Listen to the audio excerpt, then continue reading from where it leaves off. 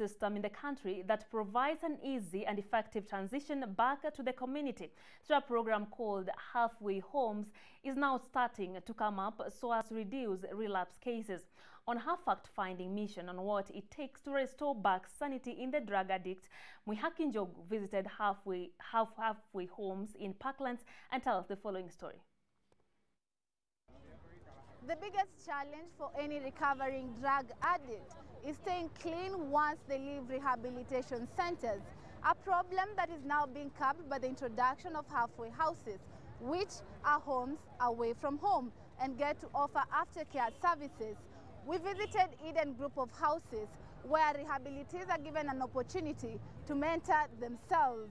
And this is the story of people and persons suffering from drug addiction and fighting it to the fullest.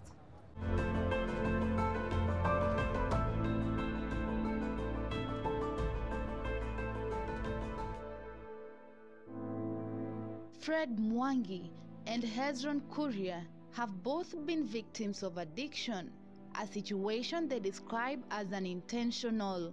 I didn't choose this path, it happened. And uh, some people really want to stop it, to stop, but they can't by themselves because it's become an, a cycle, an addiction cycle.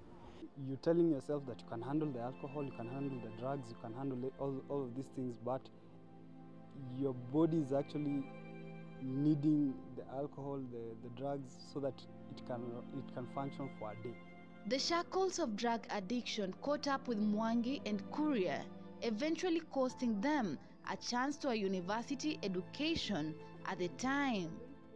I had been called earlier in 2016, but uh, due to my alcoholism, I couldn't attend classes.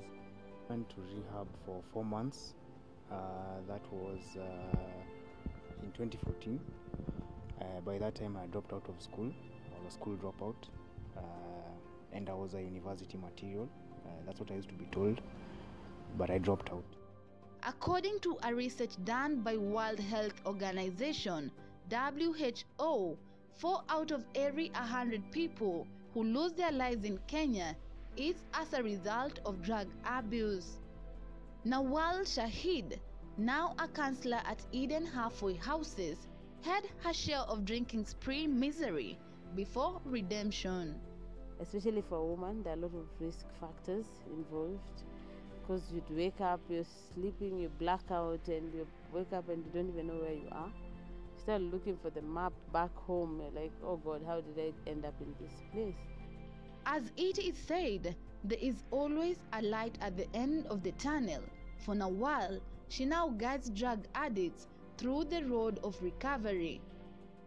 Now you see it clearly, and most, you know, addiction is just addiction. And we go through basically the same things but with different stories. And you know, you look at someone, maybe they're trying to be um, manipulative, and you're like, oh my god, this is me, this is what I used to do. It's actually been an eye opener, and it's been a humbling, humbling experience. As for Mwangi, time lost cannot be recovered. It pains him that he had to stop his life plans to undergo rehabilitation. Yeah, so challenges I face is uh, I think you the time I wasted sometimes in so because most of my classmates they are ma- they've married, you know, uh, na mi bado sando nimerudi chuo, uh, so it's kind of a hard, hard uh, acceptance. Justin Farah, a former heroin addict and currently executive director at Eden Homes, explains why he came up with such a facility. You know, after I left school, I was trained in the hospitality industry, and I got into heavy drug and drinking. Yeah? And um, as I went through my 20s, yeah, it became progressively worse. And to the point when, when I was about 29, I went into rehab in this country. And why is Farah so confident that halfway houses do work? Halfway houses are more, they enhance recovery, and that's more successful when, when someone comes into the halfway house. It is a societal responsibility to hold the hands of drug addicts and help them recover.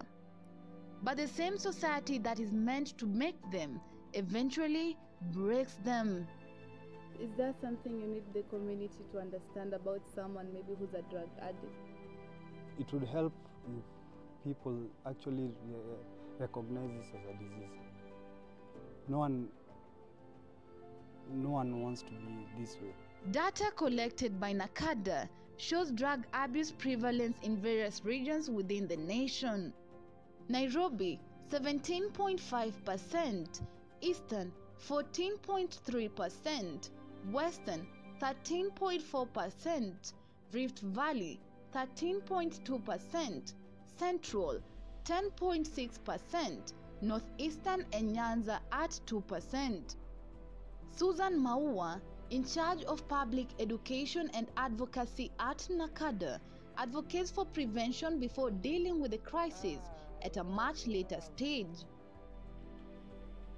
What should actually happen is look at it in a bigger perspective. It is a social problem,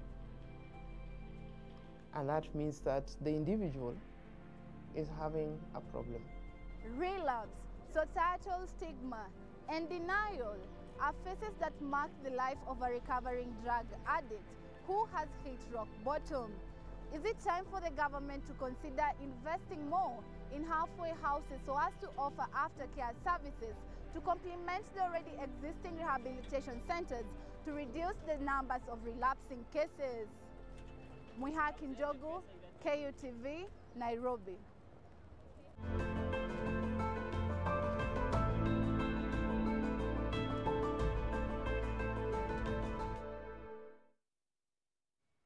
Thank you, Mwihaki Njogu, for that detailed report. You know, we're taking a very